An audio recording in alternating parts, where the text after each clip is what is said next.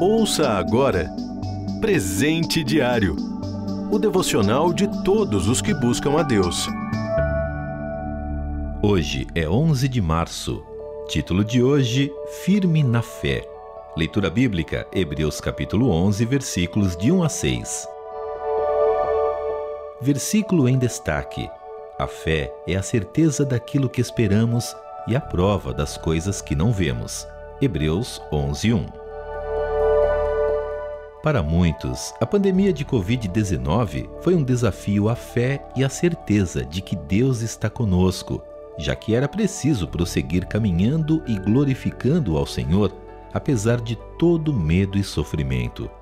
Conheço uma mãe que chorou amargamente quando não pôde estar presente no sepultamento de seu querido filho, e mesmo assim, não deixou de glorificar a Deus em meio à sua profunda tristeza. Esses momentos são comuns em nossa caminhada terrena. Na Segunda Guerra Mundial, um grupo de prisioneiros britânicos foi levado pelos japoneses para construir uma ponte de transporte ferroviário sobre o rio Kwai, na Tailândia.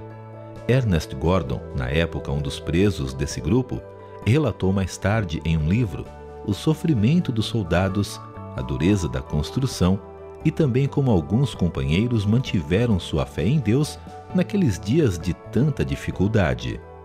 Ajudado por um prisioneiro cristão que todos os dias cuidava de suas feridas, tornou-se seguidor de Jesus por causa do amor cristão demonstrado pelo companheiro. Ao terminar a guerra, voltou para a Escócia, sua terra natal, entrou no seminário e foi consagrado pastor. Suas memórias do tempo da guerra foram publicadas no livro Milagre no Rio Kwai, um jornal comentou a obra. Toda a história traz a realidade do Evangelho ao nosso tempo. É a história do triunfo, não o triunfo do cinismo, mas da fé que atinge a plena certeza. Naquele inferno de sofrimento e dor, um grupo se reunia para orar e ler a Bíblia, crendo que Deus transformaria a situação.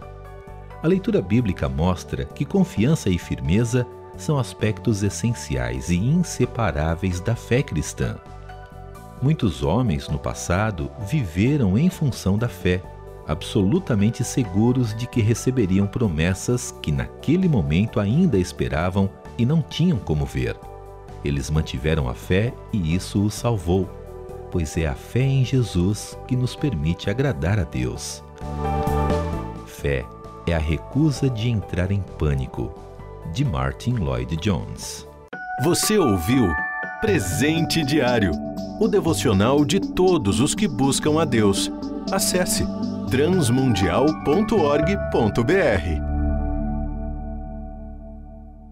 Adquira já o seu devocional de todos os dias. Acesse loja.transmundial.org.br.